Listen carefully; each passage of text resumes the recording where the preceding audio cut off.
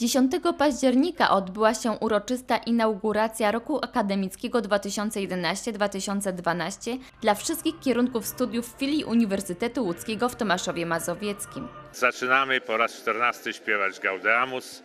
W ciągu tych 14 lat bardzo wiele się zmieniło w naszej instytucji. Jak Państwo pamiętają, zaczynaliśmy bez infrastruktury, z kadrą, która przyjeżdżała z Uniwersytetu Łódzkiego.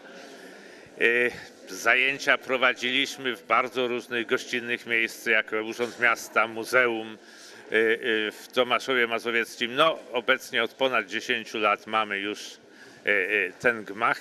Mamy przede wszystkim dużo studentów stacjonarnych, dziennych, a więc na studiach bezpłatnych, młodych ludzi, którzy przychodzą tutaj do nas po maturze. Filia co roku stara się otworzyć nowy kierunek studiów. W tym roku akademickim uruchomiono studia zaoczne na kierunku leśnictwo. Leśnictwo mamy e, w wymiarze studiów inżynierskich już trzeci rok, prawda? Za półtora roku wypuszczamy pierwszych inżynierów, absolwentów naszej filii, inżynierów leśnictwa, prawda? Ale ponieważ jesteśmy obecni w tej leśniczej formule akademickiej już dwa lata, więc naturalnie pojawiło się zapotrzebowanie także na studia zaoczne.